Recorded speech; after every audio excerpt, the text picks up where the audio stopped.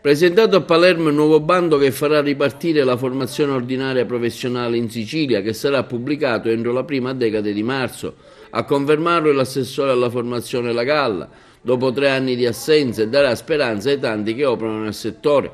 Dopo anni di ricorso con l'avviso 8 il nuovo governo proverà a sbloccare la situazione di stallo che si era venuta così a creare. Novità anche per gli allievi nel settore formativo scolastico. In conferenza stampa abbiamo presentato il nuovo bando che fa ripartire la formazione ordinaria eh, e che pensiamo di pubblicare entro la prima decade di marzo.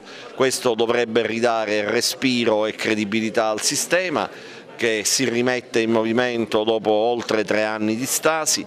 Abbiamo già nello scorso mese di gennaio eh, varato il eh, bando che garantisce continuità di risposta agli allievi dell'obbligo formativo sostitutivo dell'obbligo scolastico, ma anche in questo caso è insufficiente eh, perché abbiamo necessità eh, forte di intervenire sulla scuola tanto sul versante dell'edilizia scolastica quanto su quello dell'organizzazione della rete scolastica e del prolungamento del tempo scuola, abbiamo bisogno di intervenire sull'università e della ricerca come volani possibili dello sviluppo.